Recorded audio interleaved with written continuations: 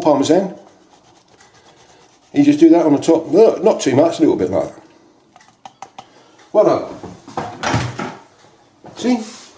And there you have it. Now, what you can do is you can go a step further. A step further, ladies and gentlemen. And what you can do That's not for everyone because it's not for everyone, I know, but it, it gives it a bit of a uh, show offiness. yeah. So what you do is you go like that, and the person getting that, uh, when he gets it at the table, don't forget, always has got to be hot, nice and warm, hot.